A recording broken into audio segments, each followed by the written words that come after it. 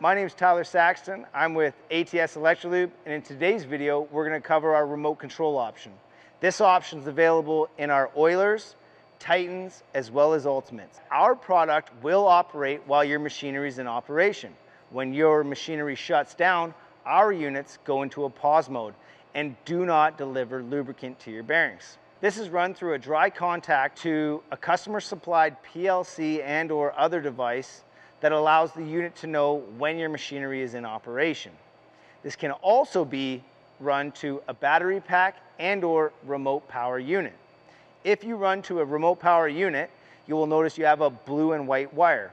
This is your dry contact and should be run to your PLC and or other device. What we've done here behind me is we've set up an ultimate 125 to uh, 24 volt relay and we've run that to our ignition switch to one of our injection molding machines. So what you'll see here is the injection molding machine is shut off and it's going to be in pause mode. When it's in pause mode, it's gonna produce two blue flashes.